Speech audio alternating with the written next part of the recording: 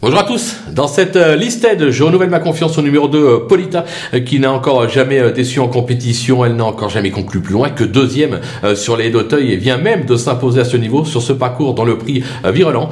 Les Bressous marchent forme actuellement. Elle peut doubler la mise. Je vais lui opposer le numéro 3, Jour Polaire, qui visait peut-être un peu trop haut dernièrement dans un groupe 3 sans y être ridicule. Se protéger de Michael Serror, qui ont déjà deux succès sur le parcours du jour, dont un dans le Robert Well. Il est toujours extra de forme en étant euh, cette fois placé un petit peu plus près de la tête, rien ne l'empêche de monter sur le podium ce dimanche. Maintenant, c'est à vous de jouer. N'oubliez pas de liker, de vous abonner à la chaîne et on se retrouve tout de suite pour un nouveau côté Côte dans la troisième.